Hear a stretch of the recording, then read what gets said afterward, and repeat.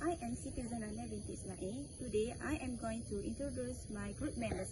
Our group consists of four, four food lovers, which are me, Citizen Ismail, Nurul Ifa binti Romaizi, Muhammad Sazwan bin Abdullah, Muhammad uh, Zulfadli, and Las Ashiki. There are a lot of delicious food in Malaysia, but today I'm going to tell about one of the famous food in our country. The food is blue and sometimes in the yellow color. Let me tell you, the food is very delicious, full of spice, vegetable and others. The food are nasi kerabu and laksam. The food are very delicious and famous in my hometown, uh. Our one of local said, if you come to Kelantan and didn't eat rice or laksam, you, your trip to Kelantan is not perfect. Enough for introductions. I would I would like to pass the task for the explanation about history of nasi kerabu and laksam to my beloved good mates, Mr. Zulfadzli. Welcome to Mr. Zulfadzli. Zas. Thank you to my friend Fiza. Assalamualaikum. My name is Muhammad Zulfadzli bin Muhammad Fadzil and here is some information about myself. Okay, and today I'm going to share some informations about laksam and nasi kerabu. Laksam is originated from Kelantan and until today it is still fully made from traditional method. One of the biggest laksam manufacturer owned by Cik Bidah Cik Wan still operate until today from 35 years ago.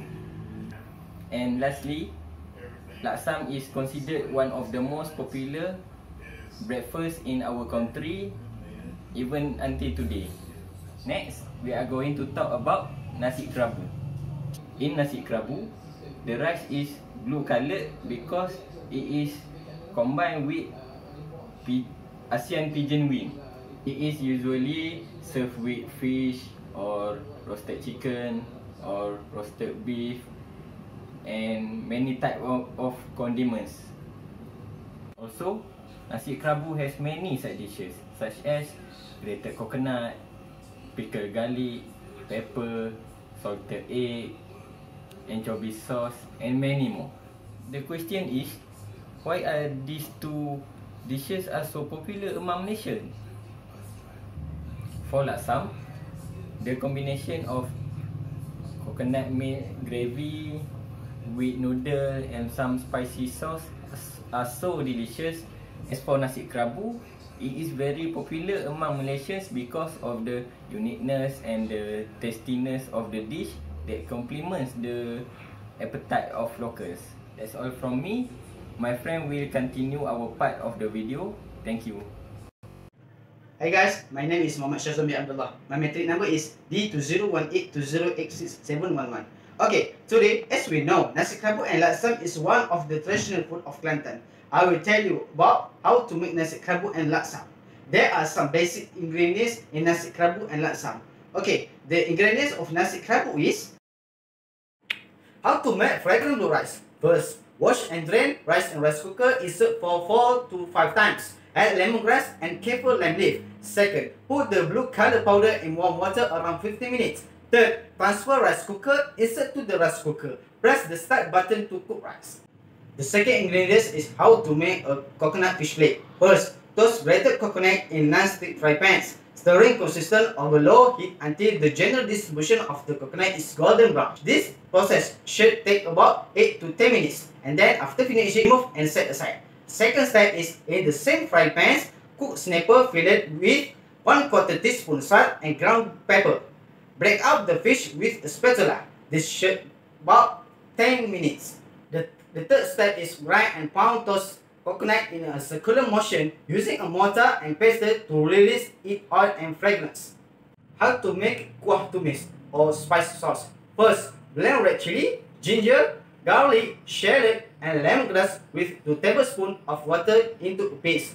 Second, heat vegetable oil in a small saucepan. Stir fry spice paste until fragrance, about 3 to 4 minutes, and then pour in coconut milk and add asam gelugor, fish sauce, salt and sugar. Stir fry until sauce has thickened another 3 to 4 minutes and then after finishing transfer in a small bowl. After make all the ingredients, then arrange prepare daun kesum, mint leaf, long beans, bean sprout, salted egg, fish cracker, and coconut fish flake around the rest. And then put one or two tablespoons of kuah or spice sauce on top of rice. Okay, that's the way how to prepare nasi kerabu. It's easy, right? Okay, guys. Now the second menu is a laksam. For laksam, the main ingredients is poached mackerel, like some gravy ingredients, rice roll ingredients, sambal ingredients, and salad ingredients. How to poach the mackerel? First, add water and tamarind juice into a large pan and stir to combine. Second, line the pan into the mackerel, sprinkle with the salt.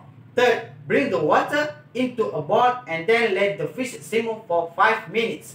Fourth, remove the fish from the water and let it cool. And then strain the remaining fish stock and set aside. How to make the laksam gravy? First, when the fish has cooled, debone the fish and then place the fish in a food processor along with the ginger, garlic and shallot and then blend into a thick paste. Second, in a large saucepan, pour in a coconut milk along with the remaining tamarind, pure and water. Third step is add in the fish paste and mix well before bridging the mixture to a boil. Add in the ground black pepper and finish by adding the salt and sugar to taste. And then remove from the heat and set aside. Then how to make the rice roll. First, prepare a steamer. Lightly grease a metal plate or baking tin. Second, in a mixing bowl, combine the rice flour, plain flour, and salt. Pour in warm water and mix until well combined. The third step is lather enough of the noodle mixture to form a thin layer in the metal plate and then steam for 2 until 3 minutes or until cooked. The fourth, remove from the steamer and allow to cook for 30 seconds before carefully removing from the noodle sheet from the plate or pan. The, the fifth step is roll the noodle sheet into a tight roll and set aside. And then repeat with the remaining batter. How to make the sambal? First, in a food processor, blend the chilies and belacan together before transferring into a mixing bowl and then adding the sugar and lime juice. Okay guys, that's the way how to prepare a laksam. I hope you enjoy the video and understand my explanation. Thank you. Hello everyone! Today I will do a food review nasi kerabu and laksam which is one of the popular foods stayed in Cik City Wang Kembang which is Kelantan. What can we see? Nasi kerabu and laksam very delicious. I can wait to taste it. Now is pandemic COVID-19. I just bought nasi kerabu and laksam from restaurant and eat at home. More safety. Okay, let's try it. This is a nasi kerabu. Okay, next, laksam. Okay, laksam. Bismillahirrahmanirrahim. Okay. It's so delicious. I like it so much. It is very very popular in Kelantan. Mm. In um Falcon State, it is the same as a favorite of society. Mm. Very delicious. Okay, next we try laksa. Okay, this is a laksa.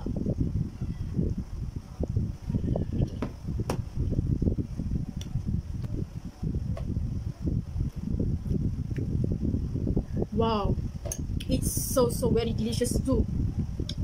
I fall in love with food in Kelantan.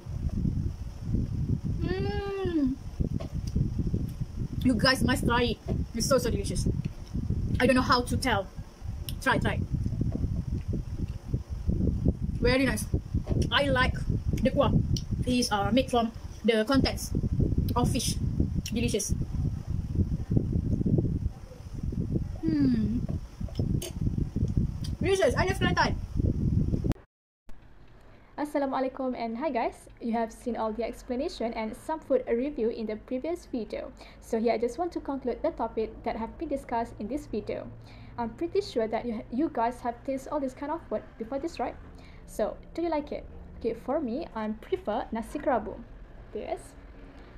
But, okay, um, this both uh, laksam and nasi kerabu has their own uniqueness. Okay, what made nasi kerabu unique is because of the ingredients. Okay, the blue color of the rice comes from the petal of Clitoria ternatea flower or we call it as a bunga. Okay, which are used as a natural food coloring in cooking it. Okay, here is the flower. I just got the small one in uh, in the backyard.